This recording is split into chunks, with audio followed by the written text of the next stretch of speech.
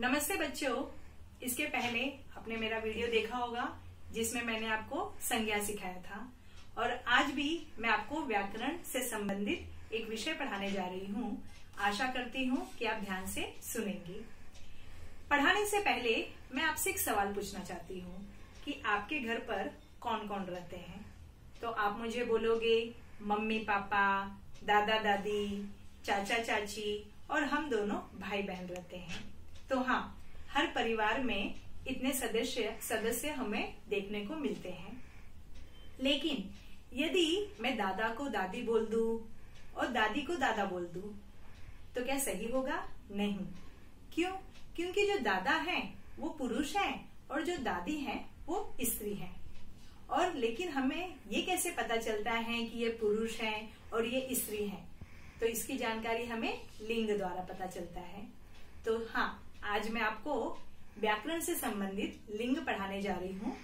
तो आइए देखते हैं, लिंग जो है, लिंग को इंग्लिश में हम जेंडर भी कहते हैं।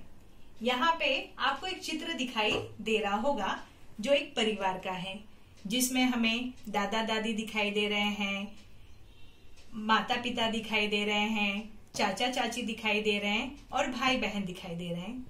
यहाँ पे मैंने कुछ संज्ञा शब्दों को गोला किया है, जैसे कि यहाँ पे दादा, चाचा, पिता, भाई।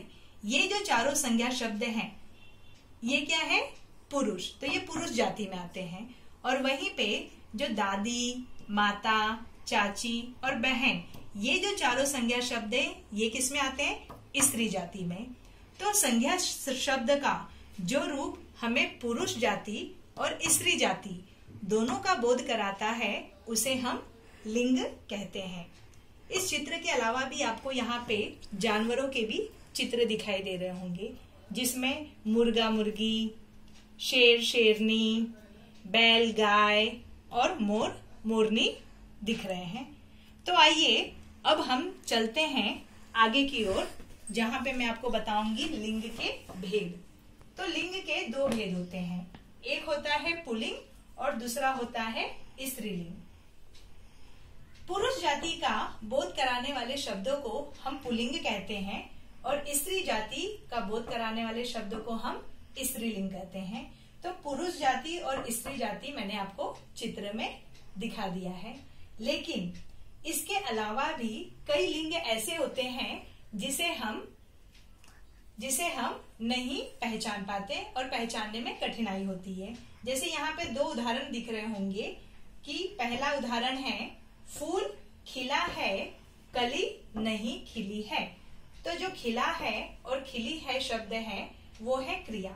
तो खिला है से पता चलता है कि फूल यहाँ पे पुलिंग है और खिली है से पता चलता है कि जो कली है, वो स्त्रीलिंग है। अब यहाँ पर दूसरा जो उदाहरण है वो है ताला लटका है, चाबी भी लटकी है। तो लटका से पता चलता है कि ताला जो है वो पुलिंग है और लटकी है से पता चलता है कि जो चाबी है वो स्त्रीलिंग है। तो आशा करती हूँ कि आपको लिंग समझ में आया होगा और लिंग के भेद भी आप जान सकोगे, जान पाए होगे। अब हम आगे की ओर चल, और दूसरे विषय पे चलते हैं, जो कि है वचन, जिसे इंग्लिश में हम नंबर के नाम से जानते हैं। तो जैसे कि अब मेरे हाथ में आप देख रहे होंगे कि ये क्या है? एक पेंसिल है। ठीक है?